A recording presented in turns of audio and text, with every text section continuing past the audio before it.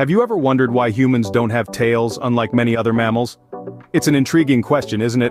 We're part of a select group of mammals, including our primate cousins the apes, who have lost this seemingly useful appendage. This captivating mystery has puzzled scientists and laymen alike for centuries. So, was there ever a point in the history of the Earth that humans had tails? Certainly. Our ancient animal ancestors indeed had tails, and this includes our distant primate predecessors. However, somewhere around 20 to 25 million years ago during the divergence of apes from monkeys, our branch of the evolutionary tree decided to part ways with its tail.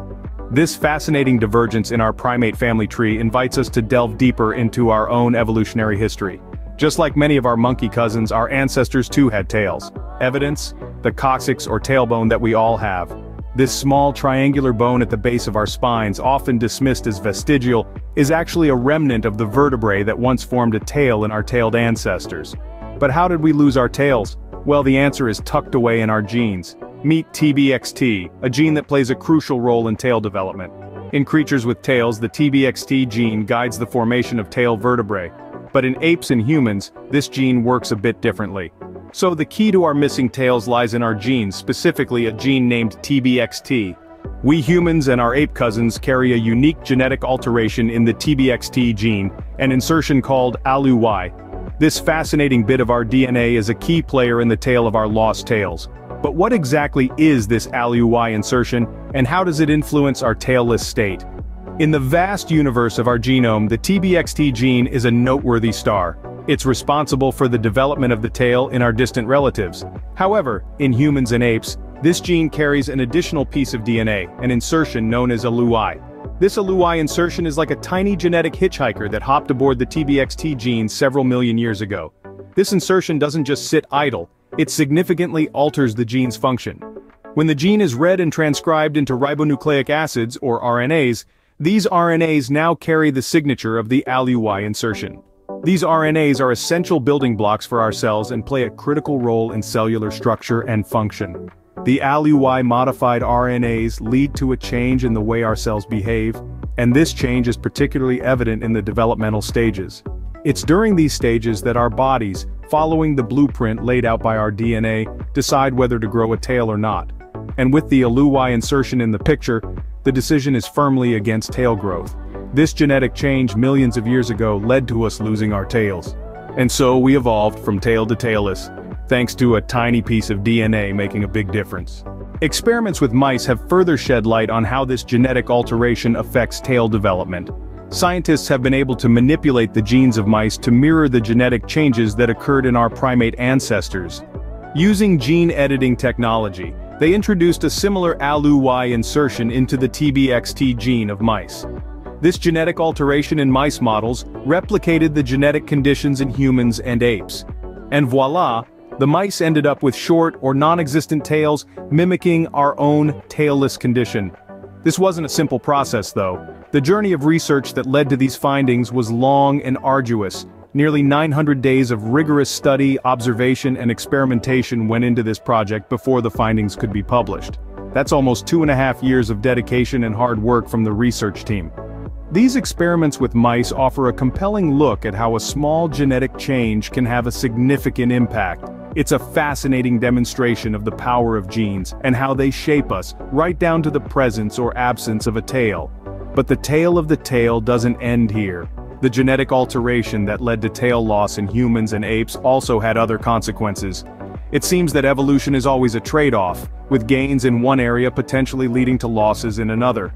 In our case, the loss of the tail was accompanied by an increased risk of certain neural tube defects. These mouse models confirm that a small genetic change can have a significant impact on our physical traits. They provide a tangible, real-world example of how our genes influence our bodies, and how a tiny alteration in our DNA can lead to a dramatic change in our physical appearance. It's a testament to the incredible intricacy and complexity of the genetic code that shapes all living beings. Evolution is all about trade-offs. Losing our tails may have given rise to the coccyx in humans, gorillas and chimpanzees.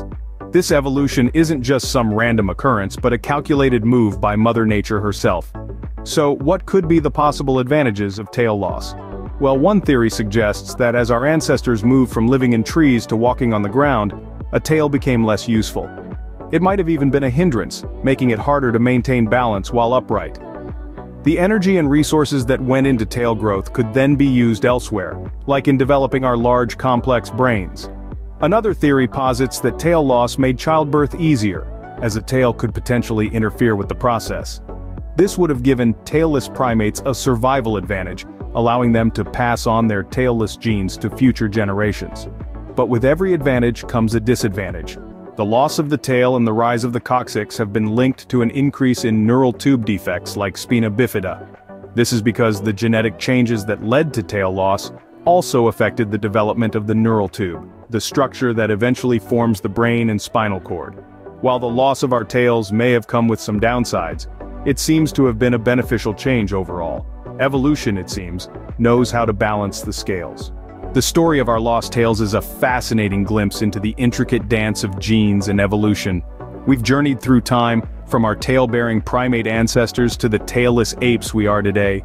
We've delved into the mysteries of our genetic code, exploring the role of the TBXT gene and the AluY DNA insertion in the disappearance of our tails. We've considered the lessons learned from gene-edited mice, whose altered genetic makeup mirrored our own tailless condition. These experiments which took close to 900 days to come to fruition, shed light on the genetic mechanisms behind our lost tails.